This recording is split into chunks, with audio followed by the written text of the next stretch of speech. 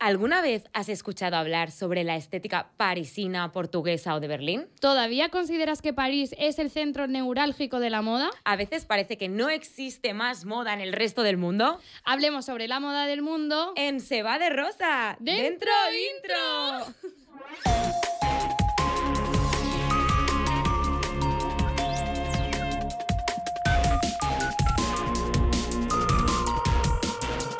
Los miércoles se va de rosa.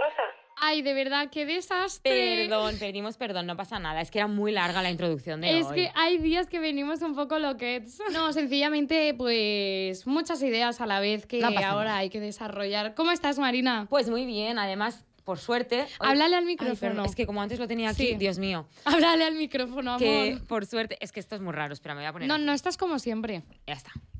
No, que antes tenía el micrófono ahí y ahora lo tengo aquí. Ah, te lo han cambiado. Lo han cambiado, o sea Ah, que vale. estoy un poco raver hoy. Vale, vale. Por eso Eh, estamos tan. Que por suerte tenemos una persona que nos va a ayudar a desencasquerillarnos. Sí. ¿Quién tenemos hoy con nosotras, Paula? Tenemos a Betsa. Un saludo para Betsa. ¡Ole! Hola. Aplauso ficticio. Sí. y muy guay porque hoy vamos a estar hablando de diferentes estéticas que están a lo largo de todo el mundo. Bueno, yo tengo entendido, Betsa, que has viajado bastante, ¿puede ser? Sí. Entonces, creo que esto nos da una perspectiva muy guay de que existe mucha moda más allá de París, que yo, bueno, París, Milán, Londres, Claro. que son estas ciudades que siempre se dice como Cliché. top, top, top de moda. Es que es típico perfil que ya no necesita Ya, presentación, no madre necesita mía, pero si yo creo que en. España no hay persona que tenga TikTok que no sepa quién es ella. Sí. Yo la definiría como creadora de contenido de moda, de lifestyle, y luego además tú ahora acabas de lanzar tu marca, Mm. que cómo es eso, tía, o sea, Una locura. sí, Sí, tía, es una locura porque producir en España es, una locura. aparte de que es súper caro, Sí. eh, los proveedores y la gente que se encarga de producir y tejidos y todo eso saben que son pocos.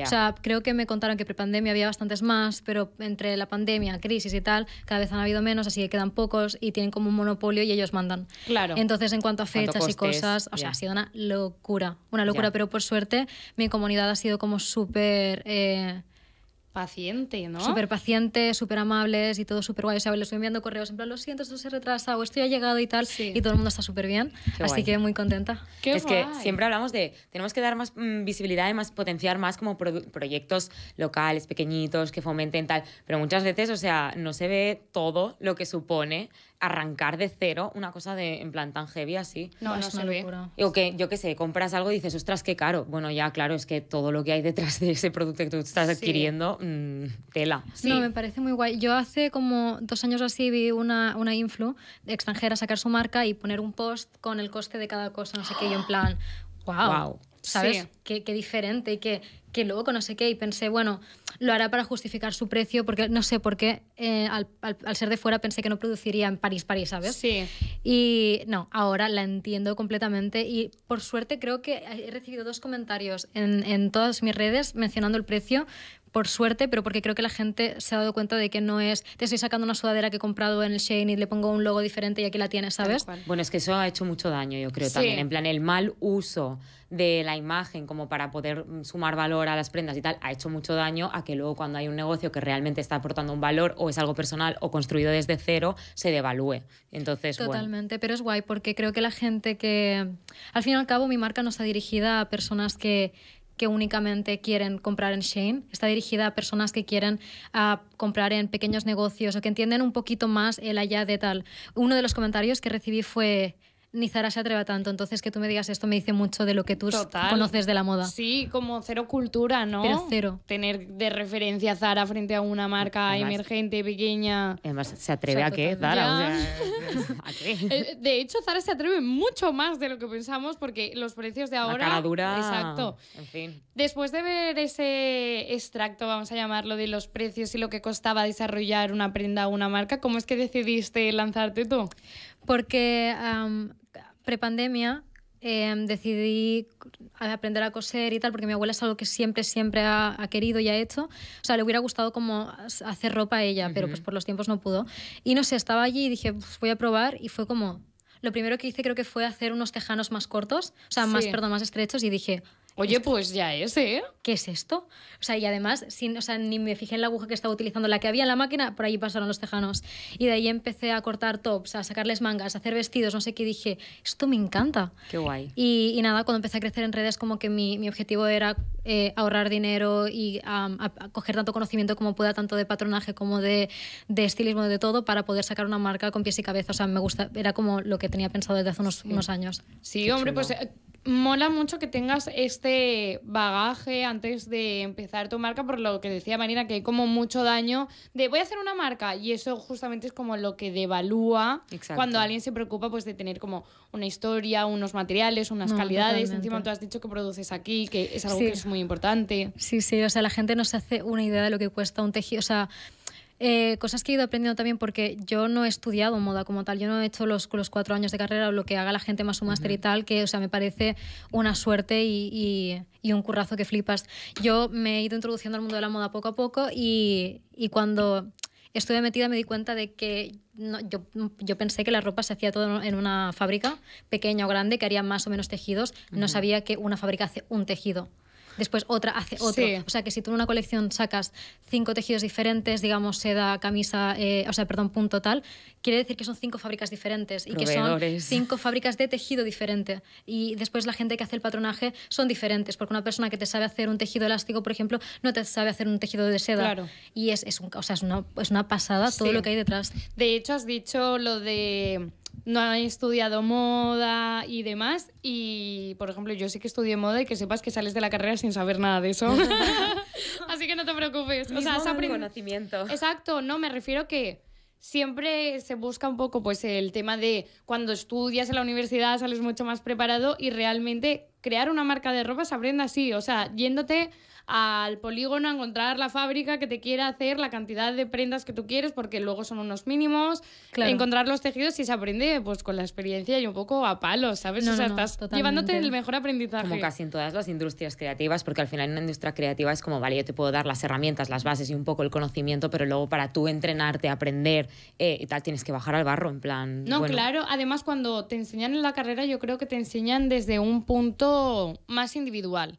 Tú como persona creativa, pero no te enseñan a hacer algo industrial. Ya, ya, claro. O sea, como a dirigir una fábrica, bueno, a la fábrica que te lo hace y esas cosas. Muy valiente, te voy a decir. Gracias. Y ya. Sí, sí. Y luego también otro tema que teníamos apuntado es como que eres una persona que efectivamente en los últimos años has viajado un montón, has visto un montón de realidades eh, y creo que también por estudios, ¿no? Estuviste fuera. Sí, o sea, fui a París eh, a hacer un curso de moda, como que cuando me di cuenta que, que quería empezar a coser y tal, o sea, no, perdón, cuando ya había empezado a coser y me, di cuenta que quería hacerlo más a gran escala, dije, nadie me va a tomar en serio si no lo avalo con algo. Porque, a ver, yo soy Sí. partidaria, sí, como que yo pienso eso, o sea, yo soy partidaria de que el conocimiento es súper importante. Y sí es cierto, yo, tengo, yo no he hecho ninguna carrera, yo tengo muchos amigos que han hecho y muchos me dicen, mira, he salido y, o sea, no sé qué acabo de hacer, ¿sabes? Y hay otros que dicen, bueno, pues me ha- tal vez para este campo no, pero me ha preparado muchísimo para este, me ha preparado Sí. muchísimo para otro. O sea, la- vosotros hacéis historia de moda, hacéis tal, os aprendéis un montón de cada diseñador, veis algo y esto es característico de este y esto es tejido, no sé qué. Y siento que este conocimiento lo puedes adquirir tú mismo si pues, te empapas mucho de tal, Sí. pero os, os lo enseñan. Entonces, como que me parí, tal vez me equivoco, pero me parecía como un poco de cara dura decir, ah, me gusta vestirme, mm, ahora tengo una marca, ¿vale? Gracias. No, claro, que querías tener, pues eso, un respaldo de, de cierto. A ver, sí que es verdad que tienes que tener cierto conocimiento, pero sí que yo pienso que no siempre tiene que estar respaldado por un título. O sea, que no sé si es nuestra generación, a ver si os pasa a vosotras, pero yo recuerdo que toda mi adolescencia, toda mi juventud, toda mi vida académica estaba muy obsesionada como con el título, el título, eso, que algo avale mi conocimiento. Y luego, a la medida que me he hecho mayor, de hecho, yo he estudiado un montón de cosas y no tengo como el título como tal, porque luego, si no lo pides, ¿quién tiene el título? El Ya. diplo- o sea, ¿sabes lo que te quiero decir? Sí, o sea, yo creo que es más un tema personal en el Sí. sentido de que yo también soy muy de, yo no me lanzo a hacer algo si no conozco lo que, lo que voy a hacer. En Claro, plan, sí, o sea, a mí me, da me refiero más a eso, justo, Claro. sí. Entonces, no es tanto por enseñar el título, pero sí no, que... no, no digo por el título, digo que es una cosa nuestra que Hmm. pensamos cuando consiga los estudios y como la certificación, por decirlo de alguna forma, de que sé esto, te sientes mucho más tranquilo, pero realmente si te lanzas lo sabes Ya. igual. Pero también poniéndome en su situación, es verdad que cuando tú estás en el punto de mira o tienes una audiencia muy grande, es que, te, o sea, es verdad que vas a ser... eh, analizado al milímetro. Entonces ya es mm, como ganar en seguridad, Sí, eso es decir, no, mira, es que, pum, ¿sabes? Sí, Yo también lo veo muy de puta ama, no sé. Eso sí. como que además he visto muchas marcas de. Yo no sé qué qué habrá ido detrás de su trabajo ni por qué han hecho lo que han hecho, pero he visto muchas marcas de influ que, que son como voy a sacar una colección, voy a sacar una tal y son camisas con fotos Con un diferentes. logo. Pero son, o sea, son camisetas de, o sea, de toda la vida de Dios, las típicas camisetas que te daban cuando te ibas a una excursión, que te la daban allí como regalo con la excursión, y esas camisetas. Sí, Se ponía de- camiones Paco, pero ahora O sea, o pone... sea, literal, y era como- Otra cosa más glamurosa. Vale, me parece súper guay porque además veo que hacen un shooting, o sea, que han reservado un sitio, que hay una fotógrafa, que hay diferentes colores, que buscan diferentes modelos. O sea, yo sé que trabajo detrás, pero era lejos a lo que yo quería hacer. Sí, que es como una diferenciación entre moda y merchandising. Mm, Totalmente. Yo creo justo. un poco, ¿no? Total. O sea, que Totalmente. tú es- querías hacer algo que formase parte de lo que se considera moda. Porque últimamente también ha habido como controversias con gente que, pues, lo mismo, de- entra en tema marca y acaba siendo siempre lo mismo. No sé si es un problema de España, lo de voy a hacer una marca y le pongo una pegatina. Yo creo que no, yo creo que es más globalizado. ¿eh? No sabría qué decirte, ¿eh? No. No sé, ¿qué opináis Yo vosotras? es que, por ejemplo, influencers estadounidenses que sigo, o, o sin ir más lejos, perfiles más eh, tipo Chiara Ferragni. Chiara no creo que sepa de patronaje. Pero o es que la marca de Chiara Ferragni-. Por ejemplo, a mí el patronaje no se me da bien. eh, y mucho menos el de punto, que es el, es como es el tejido en el que he acabado haciendo todo lo que he hecho. Vaya. Y, o sea, es como, no lo puedo creer. Y, y lo que yo hago, por ejemplo, es pasar diferentes, o sea, hago, un- hago un diseño, hago un tal, un sé qué, y se lo paso a la, a la patronista. Y entonces Sí. ella hace todo. Y, y para que veas lo demandadas que estáis, en plan, yo si volvieran a hacer, me hago patronista. Hay como cuatro contadas en España para tejidos específicos como el punto por el tipo de elasticidad que tienen y Guau. por tal. Y buscarlas ha sido toda una odisea. Yo, el año, yo iba a sacar la colección el año pasado a principios de verano. La patronista me dejó tirada y fue como, "Hmm, vale, Ya. pues aquí me quedé. Y por eso la acabé sacando como a finales Wow. de, de año y son súper importantes porque al fin y al cabo el, el patronismo siento que aunque tú lo aprendas tienes que ser bueno con ello. Sí. O sea, puedes hacerlo, o sea, puedes aprender a hacer, yo que sé, una suma, eso no quiere decir que sepas hacer una ecuación, ¿sabes? Y, y es una pasada como, como esta gente es una parte clave de, de tal. Por eso creo que no sé hasta qué punto no es lo que buscaban hacer eso, porque si tú tienes eh, los recursos y tienes tal, puedes contratar a alguien para que te haga Sí. las cosas hasta donde tú no llegas, ¿sabes? Igual que podrías contratar a un equipo de marketing si lo necesitases, ¿sabes? Dependiendo de cuánto te quieras complicar. O sea, que yo creo que tu ambición estaba como al nivel de lo que requiere la moda de ahora. Porque no es ¿sabes? una ambición simplemente puramente económica, es una ambición Exacto. personal Ah, no, o sea, totalmente. Claro. O sea, además, yo estaba como, lo tenía clarísimo, que una de las cosas que yo hice en París fue la moda eh, enfocada al negocio. Ujú. Entonces, Qué como guay. me explicaron eh, realmente lo que mueve una marca, lo que tal, lo que no sé qué, y la verdad es que son cosas muy lógicas. O sea, hay una camisa que tú la compras en Zara y te cuesta 40 euros, y una camisa de un tejido similar, vam- vamos a, a- a sacar las, lo- las cosas como que dónde están hechas. Imaginémonos que están hechas en el mismo sitio. Y una camisa de, por ejemplo, una marca de lujo te cuesta 400 euros. Ni la de Zara cuesta esos 60, ni la de lujo cuesta esos 400. Pero el marketing que hay detrás y el, y el público al que está enfocado hace muchísimo, aparte de dónde está hecho y el qué tipo de tejido es. Y cuando aprendí todo eso dije, vale, pues mi primer año, o sea, mínimo, tal vez son más, pero mi primer año va a ser únicamente centrado en posicionamiento. No voy a pensar en ganancias porque no las espero y si las hay, van a ser para reinvertir, porque al fin y al cabo tú no sacas ropa y ya está. Necesitas Claro. dinero para volver a sacar más. Así que, o sea, yo gracias a Dios cuento con mi trabajo de redes para poder hacerlo así. O sea, Claro. si no, no tendría que haber ahorrado más años. Esto- yo me acuerdo que la primera vez que lo hablé en redes era porque una seguidora me puso tipo que le parecía un robo y un atraco eh, lo que costaba la ropa de Matilda de Gerv, de The Gerv Avenue. Y Entonces Tu yo, marca favorita. a mí me encanta. ¿cuántas veces hemos hablado de The Sí. Gerv Avenue en este podcast? Sí, pero bueno, es un buen ejemplo. ¿eh? Es un Para ejemplo de una nosotras. influencer que ha sacado pues su propia línea y su marca. Y eso sí es una marca, no es Sí. camisetas con logos, porque bueno, será más o menos complejo, pero es una línea. Eh, y además fabrica en Europa. Entonces, bueno, yo considero que a nivel de procesos de fabricación es de las que lo hace bien. Y entonces yo entré a la web a mirar cómo se movía el rango de precios y claro, o sea, realmente no me parecía que fuera tan loco, no era una marca de lujo, es un precio medio. Y viendo el proceso de fabricación y todo, claro, lo que yo hablaba luego comentando con esta persona que me lo puso en redes fue como, al final, el precio no deja de ser una de las cuatro patas del marketing. O Sí, sea, Totalmente. eh, producto, eh, precio es la segunda. Depende del precio que tú le pongas a ese producto, también vas a crear un posicionamiento de marca. Y si Matilda de Gerf pusiera el pantalón que vende a 60 euros, obviamente vendería más devaluando un proceso que vale dinero. Entonces, no, no, no tiene por qué, es una elección. Igual que no tiene por qué justificarlo detrás de, no, es que fabrico aquí. No, es que si ella quiere ponerlo a su precio y se vende, al final es una herramienta más que tiene para el posicionamiento de esa marca. Y ya está. Total, es que Y totalmente. Chicas. ¿habéis visto ahora mismo en TikTok el- la polémica que hay con, con Emily Marico? Creo que se llama así. No, Cuéntanos. que habéis visto a esta chica, es una chica creo que es de Estados Unidos y se hizo viral am, en TikTok porque sacaba un arroz de la nevera, le ponía el Ay, sí que hielo. sé quién es. Vale, pues esta chica ahora ya tiene no sé cuántos millones de seguidores, pero fue así que se hizo viral hace Sí. nada. Pues ha sacado unas tote bags. Que o la sea, amo. La, la típica, ¿vale? Tote bag, imaginaos como más alargada, más como para ir a la compra.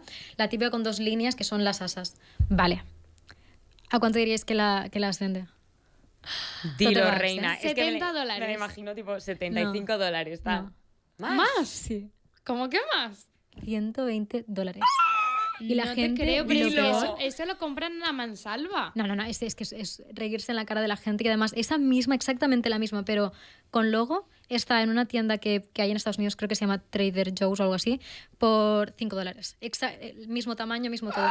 5 dólares. Es que, tía, pudiendo hacer las cosas bien, porque es lo que tú dices, si tienes las herramientas, puedes contratar un equipo, pero Y las es tiene de faltar sobras. ganas. Yo creo que pasa lo mismo siempre con las Kardashian. Pero no crees que O sea, también es cuando sacan marcas de ropa. Yo en este No, caso ya. veo mucho, mucho, muy poco asesoramiento a esta persona, en plan de, ¡buah! Esta chica tuvo una boda después de Sofía Richie Sí. que dijeron que era la auténtica boda de lujo porque se gastó pasta, pero era como si- vibra el lujo silencioso, Vale, ¿sabes? sí. Como una, una niña rica. Entonces, por cómo es su lifestyle, por lo que ha publicado, por lo que tal, no es una persona que esté... en- Además, ya, ya estaba en, en redes Vale, muchos que no es años. casual, no no, es no, ya, estaba, ya era grande en YouTube y lo Ah, que se metió en TikTok de esa forma y se hizo viral, pero ya era grande. O sea, que es mm, lo que yo quiera, te lo vendo y como que le pongo este precio, tú vas a asumir que es algo más bueno. Es posicionamiento Sí. por, por Sí. tal. Es lo único que se me ocurre en la cabeza que esta mujer pensara. Claro, Pero eso es este súper caso- mal posicionamiento Claro. porque, por- bueno, yo lo he hablado varias veces porque sea más caro no significa que sea más bueno. De hecho, yo creo que muchas veces es contraproducente Claro, claro. que pongas un precio desorbitado porque Pero la por gente eso- no es gilipollas. Pero por eso hay cuatro patas y no solo nota. el precio. En plan, el marketing tiene más, o sea, más aspectos que tienes que evaluar. Evidentemente, cuando tú vas a hacer un posicionamiento de marca, no solo te puedes centrar en el precio, sino también pues lo que hablábamos, cómo es tu producto, qué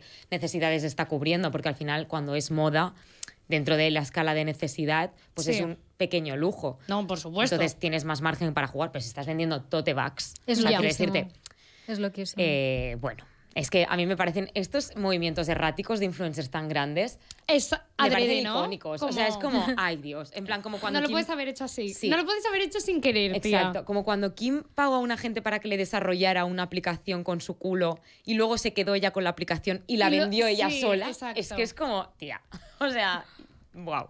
Sí, yo Te creo que es un poco así. Volviendo al tema de. Es que nos vamos. Ya lo eh, sé, pero no pasa sí, nada. Sí, sí, no, está bien, está bien, está bien. Pero bueno, continuando con la marca, pero volviendo un poco al tema de los países y tal. Tú estudiaste un poco, o sea, fuiste a hacer el máster a, Ma- a- a Madrid, a París, y luego. Muy Emily in Paris, eso, by the way. Sí, eh, Eh, tía, fue súper guay. O Sí. sea, muy, muy guay. Además, es, es, es el Instituto Marangoni, que tiene muchísimo renombre. Y donde Qué yo guay. iba, además, estaba la gente que estudiaba la carrera. O sea, tú no sabes el canteo que era eso. Yo iba ahí como... Además, yo qué sé, cuando tengo cosas importantes se me olvida cómo vestir, iba súper mal. Y ves a las niñas de carrera como unos estilos, unas cosas que yo pensando, qué puta locura. ¿Qué dices? ¿Qué a edad ver, ¿esto es tienen? una runway o Pero es literal, la escuela ¿eh? ya? Literal. Y Mucha presión, ¿no? Muchísima, porque además siento que dentro del mundo de la moda, como en muchísimos mundos, hay como un poco de cómo vas vestida. Esto no es moda. Esto, esto no es lo suficiente Ya. moda para que yo, ¿sabes? En plan. Pero eso, era como- jus- eso justamente lo dice quien es tonto. No, ¿Sabes? totalmente. O sea, Philosophy. al- no, pero quien es Sí. bueno y majo de verdad no te dice, ay, eso no es moda. En Claro. plan, tú no eres moda, maldito estúpido, ¿sabes? Es que Es que- esas cosas me dan una rabia porque, tía, hay como tanta escoria dentro de la moda, ¿sabes? Y luego eso muchas veces opaca a, a lo que realmente sí que tiene lustre, sí que tiene brillo, Total, ¿sabes? no, total. Que se coge a eso y se estereotipiza Sí. para todo el mundo y no es así, no tiene por qué Sí. ser No, así. totalmente. Y que además una cosa que me quedó muy clara de, de, por ejemplo, mis profesores de la moda y tal, en general, y es cierto, que la gente que está más metida es la gente que se viste más de forma sencilla y, y que ni siquiera la ves. Todos mis profesores iban vestidos como de negro súper simple, nada del otro mundo, tal vez tenía una que sí que era como tal, y todos trabajaban o con Chanel o con Prada o con Vogue o con tal, todos. Y después miras a muchos diseñadores, ves unas obras que son muy locas, salen ellos y te van con literalmente full black, Sí, Sí. en plan, Sí. aquí Como estoy. no consumir mucha energía, ¿no? No, o sea, no, y por eso creo que la forma que tú tengas de ver la moda no tiene por qué estar representada en ti mismo eh, necesariamente. Pero eso como muchos artistas, tú miras cuadros de gente Ah, que totalmente. tú ves, dices, luego es la persona y dices, nunca hubieses dicho jamás que esta persona te hubiese hecho esto. Literal. Porque al final, bueno, es que como tú eres por dentro y como tú te expreses creativamente, eh, pues hay gente que destina toda su energía a expresarse o sea, directamente en su obra y no tiene tiempo personal para eh, decir, pues llego a mi casa y lo último que me apetece es, a mí en mi caso, que yo hago publi, a mí lo último que me apetece cuando estoy en mi casa es ponerme a escribir anuncios, o sea, no me jodas. Yo voy a mi trabajo a hacer todo lo que pueda para que eso salga bien. Cuando estoy en mi casa, yo me pongo a hacer pues todo lo que se me ocurra menos eso. Sí, como que la inspiración está en muchos otros sitios Claro. y no, no porque seas moda tiene que estar justamente en tu ropa. Claro, ¿Sabes? Que hablando de inspiración, Tell me, tell me. ¿Dónde encontraste tú la inspiración para tu marca o dónde voy a encaminar un poco? Sí, sí, sí, sí, está bien, está bien, está perfecto. No, porque, Es la tercera vez. porque estamos súper a gusto. No, pero es que yo también peco de esto. Entonces es como que me tengo que cortar porque empezamos a hablar, a hablar y luego nos dicen, chicas, tenéis que cortar. Y yo, no, cuéntame más. En plan, no me has contado. No, no, o sea, me parece súper bien. Mira, yo tenía claro que quería que fuera algo tipo Carrie Bradshaw, es como la de... lo- Qué guay. O sea, estoy empezando y he sacado cuatro prendas porque ha sido imposible sacar más. No, por es una producción, por locura tejidos y por tal. Sí, no, pero como que estoy feliz con lo que he hecho y me he esforzado mucho para que sea presentado al mundo de la forma correcta, pero no son prendas que yo diga "Ay, tal. Pero la idea que poco a poco co- con la marca es que sean prendas... Digo Carrie Bradshaw porque siento que es una mujer que es elegante, pero que juega mucho con la moda. O sea, por ejemplo, y hay looks muy icónicos que son súper sencillos, como el llevar la camisa de Vic y ponérsela con un cinturón, como esto de enseñar tu cuerpo y meter cosas. De, de repente se ponía una falda así como llena de plumas que la gente decía, "Oh, qué coño, pero si tú lo ves dices, qué guay, ¿sabes? Sí, y sí. cómo lo llevas y qué tal. Entonces, como que me gustaría que est- estuviera más enfocado de aquí al futuro a prendas que sean siempre cosas que puedas guardar 30 años, que se lo, lo puedas dejar a tu hija y que jueguen entre lo, lo neutro, lo de esto es un para cada día con, wow. Sí, esto- como un toque. esto- un statement, una prenda statement. Entonces estoy como, esa es la intención para la marca. Y en cuanto a sitios que me comentabas antes de inspiración, siento que mm, cada país como que te aporta algo. Por ejemplo, en París me di cuenta de que la gente escucha mucho a la gente en la calle. Así como en Milán, solamente llegar al aeropuerto ves marca, Louis Vuitton, no sé qué, marca, marca, marca. Y todo tiene que ser como, si no ha costado 800.000 euros, no vale la pena. Y, o sea, no sé, es como yo veo más Milán. Eh, París, recuerdo que mi profesor me dijo, he visto hoy por la calle a una chica con medias blancas. ¿Van a volver? Y literalmente, o sea, esto me lo dijo hace dos años o tres años y ahora están las medias de tal. Y como que me di cuenta que tal, que en París como que se escucha mucho la gente y como tal y como mezclan y como, eh, como que creo que es lo que más aprendí de París, París, el estar pendiente de cosas que alguien pueda llevar de repente. Llevas algo rojo, Como que tiene mucha sensibilidad, ¿no? Exacto, totalmente. Y después siento que Copenhague ahora mismo es de las es una ciudad que está destacando mucho, aunque antes no estaba nunca contada en el mapa de, de ciudades importantes, porque es una ciudad que creo que ahora mismo no tiene miedo a jugar con colores, texturas, tal como que cada país siento que sin querer ya se ha encasillado, como Milán es muy elegante, muy tal, París es como el estilo parisino, muy chic, muy no sé qué, puedes jugar un poco así con los colores, pero siempre te mantienes en tal, Nueva York hay como cosas caóticas, y, igual que Londres también, Sí. y después viene Copenhague y es como, lo están mezclando un poco todo. Sí. ¿Es la que más te gusta? Yo soy más Por- de París, Tú eres más París. Pero- Porque claro, luego me dices, pero me Carrie Copenhague. pienso, pienso Nueva mujer, York. Nueva York. Total. 100%, o sea, 100%. No, eh, yo, o sea, me encanta ahora mismo Copenhague, pero por mi gusto nunca me verías llevando nada de eso. O sea, no, Ya. no soy de color, me cuestan muchísimo, pero muchísimo trabajo las texturas. Yo veo unas- a las chicas, he estado ahora la semana pasada, y era como, qué pasada, era como ver arte en, en la calle, o sea, es una locura. Pero por mi, por mi gusto, soy más París, pero Copenhague me parece ahora mismo la ciudad más top, porque siento que es puro frescor, es pura inspiración, es, es tal, y no tiene miedo a jugar con nadie más. Ahora mismo saben que la gente les está mirando, entonces es como, vamos a ver qué tan lejos podemos llegar, ¿sabes? Y eso me parece muy guay. Sí, yo creo que han sabido aprovechar porque otra de las cosas que me gustaría como hablar, ya que tenemos como esta perspectiva de otros países gracias a redes sociales o haber viajado, es de cómo vemos que han sabido aprovechar otras ciudades la moda bueno, países y cómo lo hacemos aquí en España, ¿sabes? Por ejemplo, yo siento que Copenhague se ha abierto camino en muy poco tiempo solo por el hecho de haber encontrado una estética que les representa. O sea, tú piensas Copenhague, piensas metalizados, piensas texturas, piensas colores, piensas layering. O sea, tienen algo ahí que vibra muy fuerte. Y en cambio luego pienso, ¿vosotras pensáis en España y Ya. os viene alguna estética? Tía, la peor Fashion Week a la que he ido, y que me perdonen, es la de Madrid. Es caótico. Es- Ves a gente que suda y ves a gente que se esfuerza. No diré demasiado, porque al fin y al cabo es lo que ellos querían intentar. Tal vez no es que a mí me parece tal, pero como que no siento que haya nada definido. Es lo que tú estás diciendo, como que yo me dices que se lleva, o sea, que es la estética Estética española. española.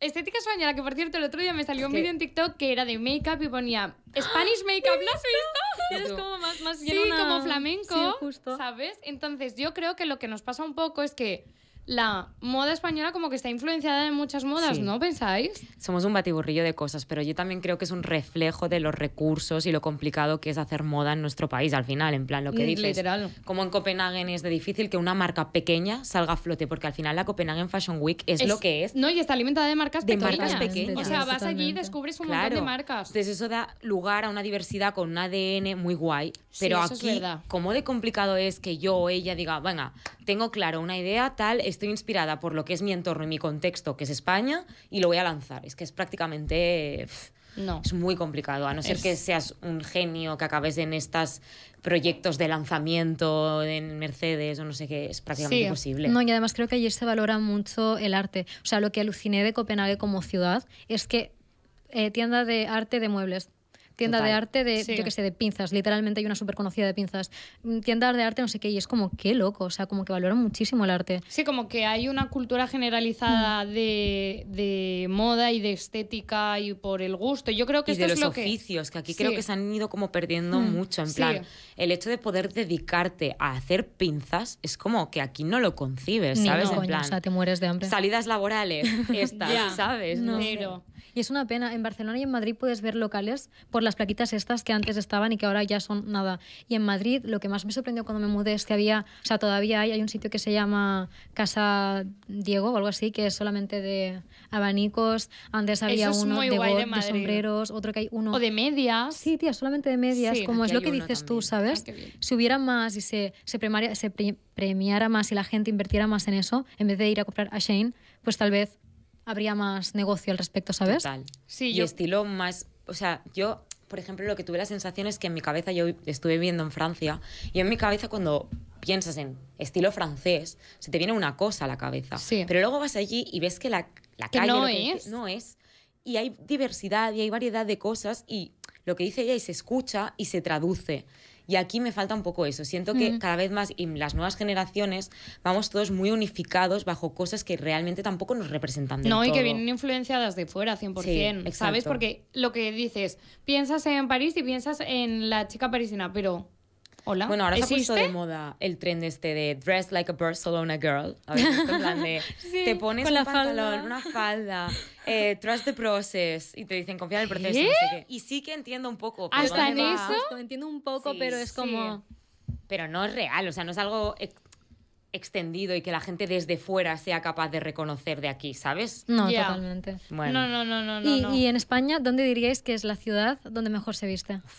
Yo lo tengo la Este- esto ya tuvimos un día micro batalla. Yo, yo en Código Nuevo lo hemos preguntado varias veces, tipo, Sí. hemos hecho encuestas y tal. Y hay como, cuando preguntas fuera de Barcelona, en Barcelona la gente dice Barcelona. Vale, sí, es que dependiendo. Pero cuando preguntas fuera, tipo Madrid, voy a poner como territorio neutro, la mitad te dice en el norte de España y la otra mitad te dice en el sur de España. Y es como a ver qué quedamos. Es que ¿Vosotras qué opináis? yo creo que el sitio donde. Es que, buah, yo siempre tengo muchos matices, ¿sabes? Porque pienso. Es que en Barcelona la gente viste de una forma como si fuese. O sea. Un país y Madrid como si fuese Total. otro país y cada uno a un lado del mundo. O sea, siento que se viste muy diferente, pero yo creo que generalmente para mí la gente del norte viste mejor. Pero yo creo que es porque me gusta las capas, el frío y Claro. más este universo. Para mí. ¿Para ti? No, dilo Yo iba a decir, a mí me encanta cómo viste la gente en Barcelona, pero porque siento que, por ejemplo, la gente en Madrid viste muy bien, pero lo veo como muy performático, en el sentido de que se viste muy conscientemente, o sea, de me voy a hacer un lucazo, y parece que siempre van con Sí, la gente se produce mucho. Exacto. Y aquí en Barcelona lo veo como un estilo más natural y como de mucha diversidad, cada uno va un poco a su bola, tal, y lo siento como más relajado y a mí eso me gusta mucho. Yo no sabría definir el estilo de Barcelona. También es cierto que no cambio, o sea, que no me muevo mucho fuera de mis cuatro calles. Eh, pero por lo que yo he visto este el verano anterior, eh, Coruña. Sí. O sea, jamás había visto una ciudad bueno, porque de- está allí las fábricas de Inditex. Claro, también, no, ¿eh? pero es que piensa que yo fui a Coruña porque hicimos una ruta con mi pareja por el norte, no me esperaba nada. Yo iba a Coruña para probar la tortilla, ¿vale? O sea, y tener como una discusión de Madrid total. Tía, me veo, ¿en Y, y serio? de repente llego y se me acercan unas chicas que me reconocieron y las veo a tres, o sea, niñas que, que tendrían 14 años, Joan- todas súper bien vestidas y yo, Sí. Wow, vale, seguimos caminando un poco, se acercaron otras igual, después veo por la calle pasar, pero yo creo que Coruña, al menos, no sé si fue el porque estuve un día, ¿vale? Si fue el día que fui o qué pasó, pero te juro que me sentí un poquito como en Copenhague, pasó una mujer con un, ves- con un, con un vestido negro de flores rojas, conjuntado con algo aquí, una no sé qué en el y unos zapatos rojos y yo... ¿Estamos What? en España? en plan, estoy flipando. Y la mujer mayor que iba al lado, igual, pero con un, con un como chubasquero amarillo, después lo conjuntó con un bolso que, azul, no sé qué, y algo, no sé qué. Yo, pero- o sea, estaba como, es que iba caminando pensando, ¿qué? co-?". O sea, yo no conocía Sí. esto. Y me dijeron Ahora que tengo eso- que ir. Tienes que ir, o sea, impresionante. Ya, aparte de las niñas que saben vestir, pero como dices más, vale, te vistes porque hay Inditex está aquí. Claro. Hay mujeres, o sea, siento que hay personas que visten con estilos muy parecidos a los de Copenhague en el sentido de que tienen mucha personalidad. Y los vi y no era de otro sitio que español, porque al fin y al cabo los complementos que tenían eran muy Sí, españoles. sí. O sea, la mujer esta que pasó con el, con el vestido este de flores rojas y tal, y además tú la veías y decías, qué cool. Y Ya. este estampado como tal no lo asocio a alguien de ahora, o sea, alguien, perdona, de nuestra edad o tal, pero iba tan guay esa, esa mujer. Eso da Me quedé gusto. alucinada. Yo sigo una chica desde hace mucho tiempo que se llama Laura Tonder, que es, en Instagram es como Couture Culten, creo, Couture Culten, porque ahora tiene una marca de moda también independiente y tal. Y ella vivía en A Coruña, ahora ya no porque es con- creadora de contenido y tiene su marca y ha dejado, pero vivía en A Coruña porque la contrataron en Inditex, era diseñadora, entonces el tiempo que estuvo allí, estuvo viviendo con su pareja allí y luego ahora ya está, pues creo que se ha ido a Copenhague. Pero era lo típico que yo la seguía y pensaba, ¿qué hace esta chica? tan guay viviendo allí. Y ya luego con la edad me contaron que muchos perfiles así top, como que se mudan allí para trabajar un tiempo y luego, Sí. eh, pues, no sé, viajan por la vida. Es que no creéis que pasa un poco que cuando aquí alguien va muy guay vestido. Se normaliza. No, Ah. cuando alguien va Lo mu- opuesto. cuando alguien va muy bien, muy guay vestido, sobre todo si es alguien más mayor, piensan, qué loco. Esa está loca. Sí. ¿No? A mí una mujer bien vestida me da igual el estilo, me da igual. O sea, una mujer mayor O sea, todo lo con que se pelo sale blanco. de la tal, Creo, creo norma. que Me justo, parece creo que justo nosotras no, porque No, nosotras la- la- no, pero claro. digo, Ah, en vale. general como que existe un rechazo porque no Puede hay ser. cultura y en cambio en otros países la señora que va con tal, tal, Tía, tal pues sí puede es ser, ¿eh? súper guay y aquí, de- Total. qué loco, qué loco, eh, Pues puede no, ser. qué desubicado o qué vergüenza o como muy ignorantes, vaya. No, totalmente, sí puede ser. Me pregunto qué pensaría la gente si, si gente de gente mayor, por ejemplo, de las que vi, es que no sé si todo el mundo es así. Me han dicho que en Coruña se viste bien la gente del centro. Yo transmito eso, pero la- vi mujeres mayores que siento que ni siquiera una persona con poco conocimiento podría reírse porque era dema- demasiado perfecto lo que llevaban. Ya. de colores de tal, aunque tú digas, uy, yo no me pondría un, un chubasquero amarillo, lo ves y es que es siento que es imposible no verlo bonito, Ya. ¿sabes? Me, Ya. me pareció la ciudad más interesante en cuanto a moda que Qué he visto fuerte. de momento. Qué Tengo guay que también. ir, sí. Oye, pero qué chulo, en plan, yo siempre lo pienso, que aspiracional de yo quiero llegar a tener mi edad y poder salir como me dé la gana de casa. O Tal sea, cual. un día en pijama si me apetece porque esté low key, vale, me parece estupendo. Pero que si un día me apetece ponerme un vestidazo, aunque sea un martes al mediodía para irme a leer el periódico, nadie me mire raro. O sea, al final nos pasa que tenemos muchas prendas que por el contexto nos ponéis. No, no, Yo no. No muchas, pero yo sí tengo algún vestido que yo me lo pondría. Pero porque tú eres muy arriesgada y muy atrevida. No, pero es que yo me lo pondría de normal, en plan, yo me lo pondría por, para ir con mis amigas Sí. a un girls dinner. Me encanta. Es que, tía, tú Y tienes no que vivir que en dirán. Copenhague. Sí. Sí, te Venga, pegaría un montón. que. Ya puedes estar ahorrando porque un café te cuesta Es carísimo. 10 euros. Eh, me pasó, bueno, estuve también llevo- en Copenhague esta semana y me cobraron por una Coca-Cola, dos cafés y un vaso de agua del grifo 40 euros. Bueno, claro, nena, es que tú estabas loco. así. Tía, el vaso de agua 10 euros y yo. ¿A quién invitas? Eso es ilegal ¿A en quién España, ¿eh? Yo llegué del aeropuerto y llegué ya a la cafetería donde estaban las chicas, así que yo no pensé en nada, llegué, las vi tomándose un matcha, un tal, vi que- por cierto, los matchas en, en un bol de cereales. O sea, qué locura, no, no entiendo la gracia de eso. He probado fin. el mejor matcha allí también, ¿eh? Sí. Sí. Ahora, ahora me cuentas, pues estaba allí y me, y me viene la chica que estaba sentada a mi izquierda con un pastelito que os juro, no era más grande que esto. Vale. Y me Sí. dice... La muestra. No me puedo creer que eso sea 18 euros. Y yo, ¿qué? Y yo, que yo me había pedido unas tostadas con aguacate con huevo pochillo, ¿yo, ¿qué? Y me dice, sí, tía, 18. Y dice, ¿cuánto crees que cuesta tu matcha? Y yo, 6 euros. Me dice, 12. Y yo, LOL. Es muy caro. es loquísimo. Es- Perdona, muy ¿el caro. riñón te lo dejo aquí o cuando acabe? En plan... Sea, me gustó Copenhague hasta ese puntito. Sí. ¿Y dónde pruebas el mejor matcha? Luego te digo. Ay, vale. A ver qué opinas. No, tampoco lo quiero. Es que yo no soy ninguna experta en matcha, entonces no lo quiero decir aquí en el podcast deliberadamente y que me acribillen porque sea No, una puta pero- mierda. No, pero que sea a tu gusto, ¿sabes? Yo tampoco sé mucho de Es que yo me estoy introduciendo ahora. ¿Sabes? Porque a mí me gusta mucho el té chai. Me encanta que aquí de repente hablemos de, de esto. Nosotras somos unas chicas té chai. Pero el té chai es muy difícil de conseguir en cafeterías. No Sí. sé por qué. O sea. Y a veces te lo hacen que es de esos infusionados Sí, que no está que bien no mola infusionado. y o que saben eh. mucho a especias. A mí Sí. me gusta que sepa más como a vainilla y demás. Y como el té chai es tan difícil, pues me estoy pasando un poco al matcha para cuando no hay. Vale. ¿Sabes? Ojo, porque Entonces, el matcha también depende de dónde Probé te lo ma- hagan. Tía, matcha de vainilla. Sí, sí. Probé, sí. ¿Cuánto te costó?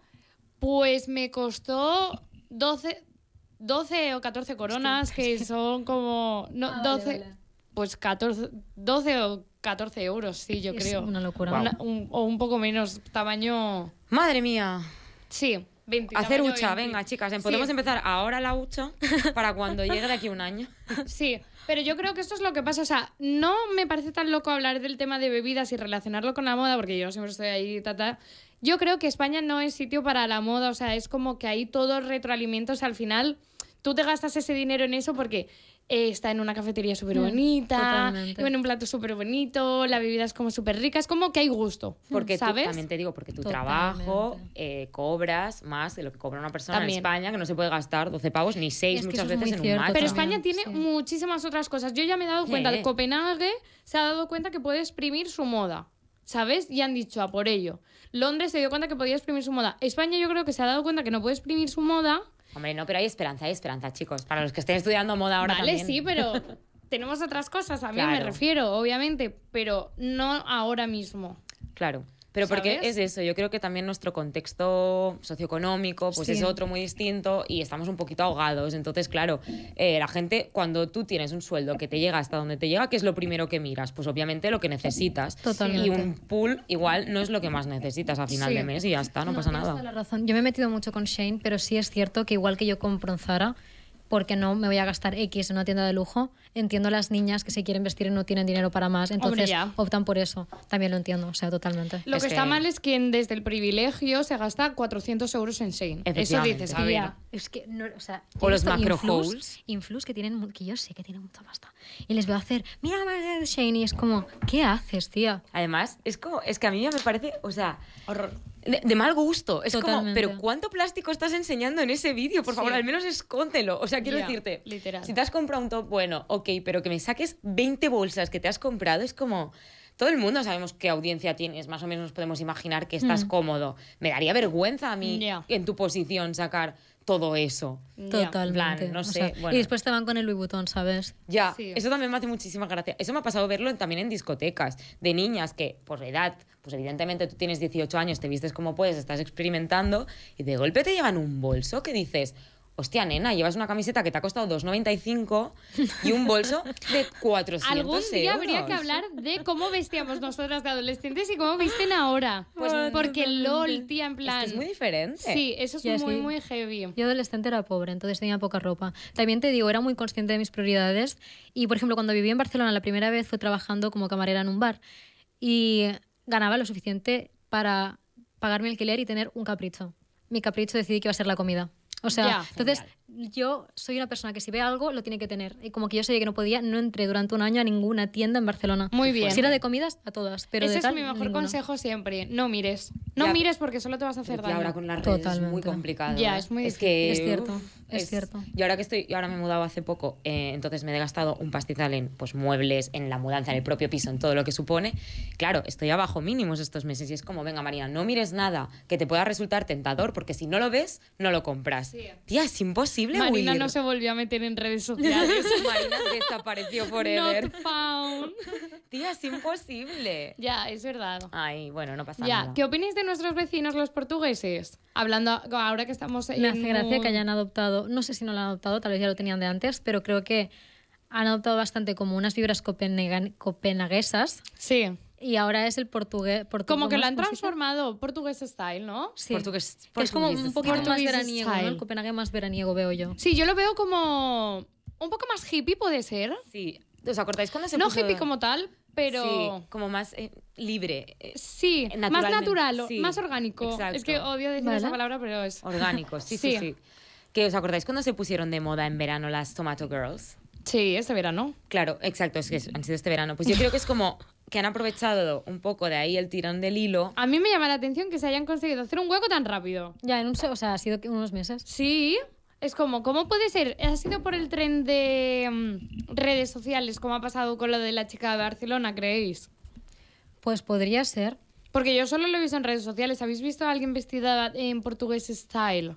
Yo sí, Yo estuve en Portugal y nunca yo no había visto niñas vestirse así. Mm, ¿Verdad que no? pero, yo sí, pero chicas nórdicas y en Barcelona. O sea, para mí es como cuando una chica nórdica se viene a vivir a Barcelona.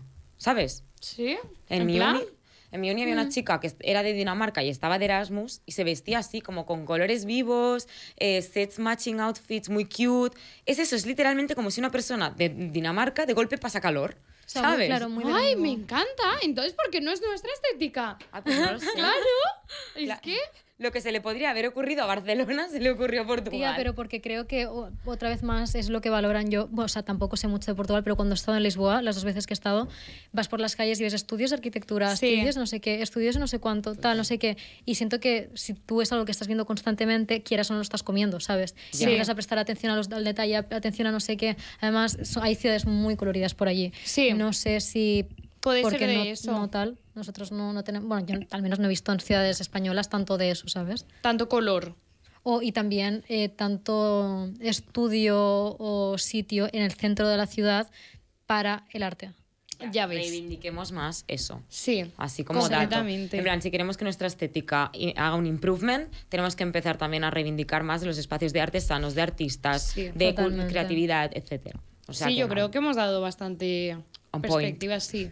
Te- tenemos que acabar. Sí, nos lo han dicho por, por megafonía. Es que se me, se me ha quedado como I need more, Bueno, pues ¿sabes? día hacemos una sí, parte dos, tenemos no que hacer nada. una parte 2. Pero súper guay. Hago agradecimientos, me Sí, encargo ahora de... Nada, pues hoy le vamos a agradecer en primer lugar, A con permiso para nuestros técnicos, a Betsa, eh, que ha venido hasta aquí para hablar con nosotros un ratito. Gracias, Betsa. A vosotras Ah. por invitarme. Oh, cute. A Alex, que es nuestro técnico, que siempre está ahí. A Chris, a nuestra productora. A Código Nuevo, que nos paga y produce el podcast, que si no, sin ellos, pues eh, no somos nada, literalmente. A BCN Radio Hub, que es donde grabamos y donde nos pueden ver, Paula. Cada dos miércoles en YouTube y en Spotify, porque los miércoles se, va de rosa. Lo acabo de entender ahora.